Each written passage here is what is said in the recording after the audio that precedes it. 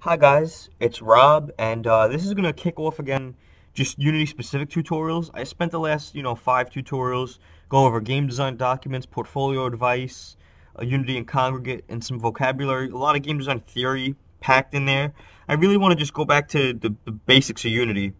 Uh, some things that I've been using are the Elementals pack, which can be downloaded directly off of the Unity Asset Store for free, Fung and Fungus. Now, what Fungus is, uh, you download this off of the Fung uh, the Fungus website, uh, and what this basically is, it's a plugin for Unity, a free plugin that allows you to make virtual novels. Now, I'm going to show you guys a little sneak peek of, of my project, what I've been working on, uh, which I'm actually going to continue for an independent study this upcoming spring semester. And I've used a bunch of placeholder art that I found on the internet, but here's basically what this allows you to do. Right? It allows you to transition, right? It allows you to, to totally like just tell the story and to you know, this is all going to lead into this is the discussion between the characters. You know, you have your character icon down in the lower left-hand corner. You have your scene. You have your sprites, and this is actually going to lead into a battle. It doesn't lead into it right now, but I just want to, in case you guys are planning on downloading Fungus, I highly recommend it for any class projects, anything like that. It's just a great way to tell a story and to work in your game. And here's actually how simple, okay, using this is. We'll go to Fungus script. Okay, now here in Game Started Chapter 1, we have so many things. This basically programs for you in a way.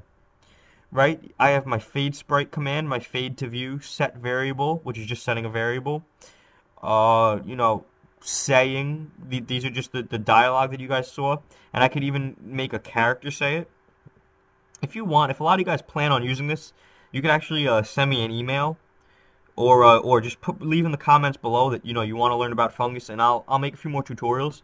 This is just an overview right now, but you know you could have choices. So you, you do the add options first, and then you have like a choice right here, and that and that um in the game you actually get to choose like different directions your story could go and make multiple endings or multiple choices and then basically what this is all going to culminate into is there's going to be something here that says load scene uh you know battle scene or whatever battle one and then it's going to jump to this okay which is it's really easy to make these transitions and then what it's going to do is there's going to be another character over there with an enemy AI and I'm going to be fighting them and you know jumping and shooting.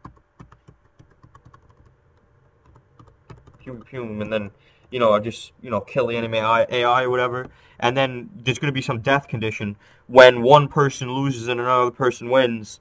Then load, you know, chapter two or uh, yeah, chapter two quicker. You know. Basically, and then we have you know we have new friends, old enemies, and now we have chapter one, but then we have scene two.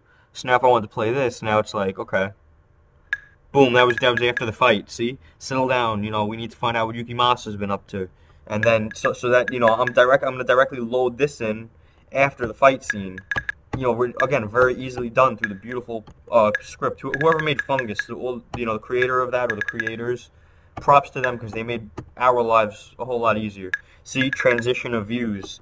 want you to meet my friends. This is Hikari and this is Chigo introducing characters in.